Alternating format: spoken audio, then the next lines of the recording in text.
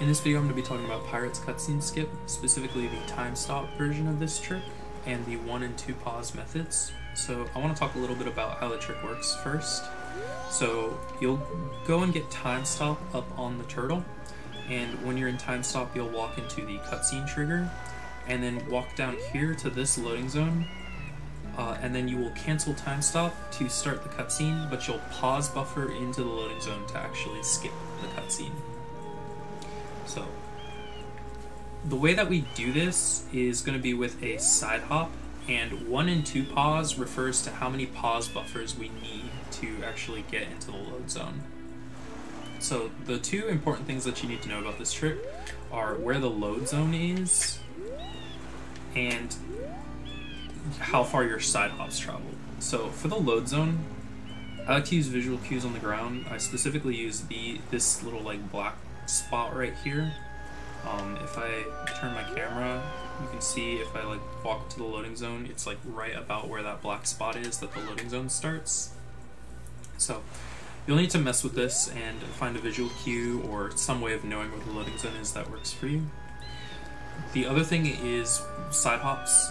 So since we use a side hop to travel into the cutscene, just know that for one pause, you get one frame of side hop movement. This is not a lot, so you need to be extremely close to the loading zone for it to work. And then for two pause, you get another frame of side hop movement. You see there's a lot more room for error here, so it's definitely the easier version of this trick. So I have a save state already up here with uh, time stop. So I'm gonna walk into the cutscene trigger, and then we'll go down by the loading zone. So, using my visual cue, uh, this looks like right about where I need to be for both two and one pause. So I'm gonna turn so that I can side hop into the loading zone and then I'm gonna make a save state. So now I'm gonna talk about the canceling of time stop. So we do that with C up. If I C up, you see that it cancels time stop and the cutscene starts. So the way this works is the first frame I C up, nothing happens really. The second frame I C up, uh, the C up actually begins. You, you hear the noise, the, the little boop, boop noise, and then the third frame, the cutscene actually starts. So the noise that you hear from the C up is a very important audio cue. So for two pause, we'll go over two pause first. When I C up here, I want to pause on the frame that I hear the noise. Now, if you don't pause on this frame, like here I paused on the frame, if, if you C up and pause and you don't hear the noise, that's okay. Um, you just do an extra pause buffer until you hear the noise and it just becomes three pause instead of two pause. But ideally you pause on this frame where you hear the noise. That means the C up is starting and the cutscene is gonna uh, the cutscene's to start. But the pause here obviously delays that. So now you want to use one your last buffer here to input the Z target and A. So Z target is going to let you start targeting so that you can actually do your side hop. And the A input is going to cancel the C up. So here I'm gonna use my second pause and I'm gonna buffer those inputs. So you'll know it worked if you hear the uh, C up noise again to indicate that you've canceled the C up and you see the camera start to pan in your buffer. So now I'm not looking straight at Link anymore, it's kind of off to the side a bit. So now you'll unpause and you'll use your last buffer here to input a side hop into the loading zone.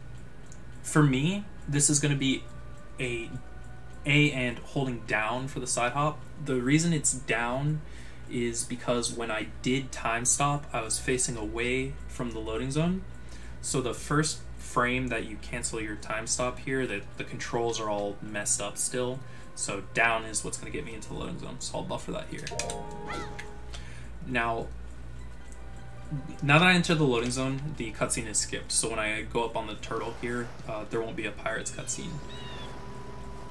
So for the one pause method, it's a little bit different.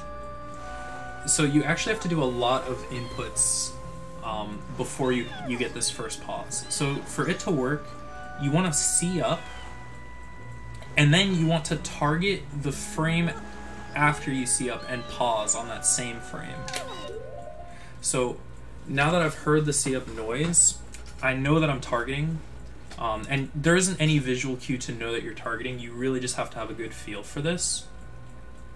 And then for your unpause here, you are going to be doing all of the inputs one after another. So the in the unpause lag, you're going to be pressing A to cancel C up, and you want to time an A input or mash, however you can do this, so that the first frame after unpause lag, you input a side hop. So the lag is very inconsistent here, so I'm just going to try to mash for it. And you'll see that I was able to cancel C up and side hop into the loading zone on out of the unpause lag essentially. Um, this version of the trick is a lot harder to do for that reason. Um, just because like there's a very small margin where your side hop will actually enter the loading zone, and it's really hard to get that um, that single frame side hop after the unpause lag. There isn't, at least from my understanding, there isn't a great cue for timing it, uh, just because of the lag and how it changes. But um, that is how you can do these tricks RTA. So if you have any questions, feel free to leave a comment.